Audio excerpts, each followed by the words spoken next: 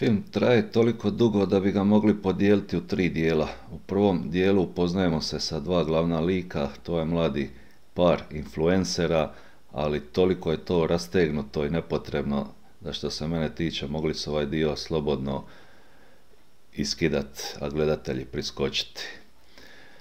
E, prava radnja kreće kad njih dvoje uspiju se nekako uvući na luksuzno krstarenje, a društvo im čine oni koji imaju novaca, pravi pravcati bogataši. I to je sad jedan sasvim novi svijet.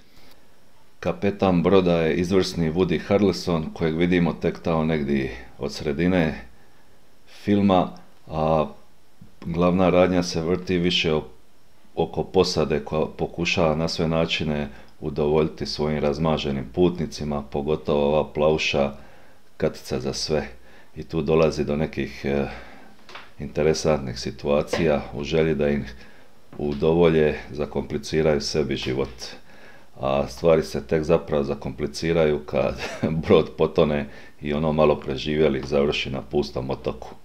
E sad su tu pravila igre okrenuta, tko bi gori sa je doli i oni koji znaju i tijanci o preživljavanju preuzimaju glavnu riječ.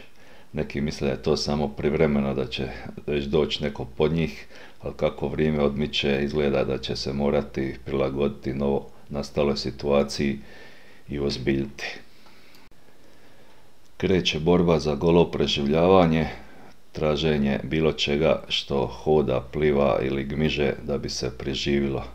Kako će ovo završiti, to ni oni ne mogu zamisliti. Film je na momente strašno zabavan, a konačna ocjena je 7 od 10.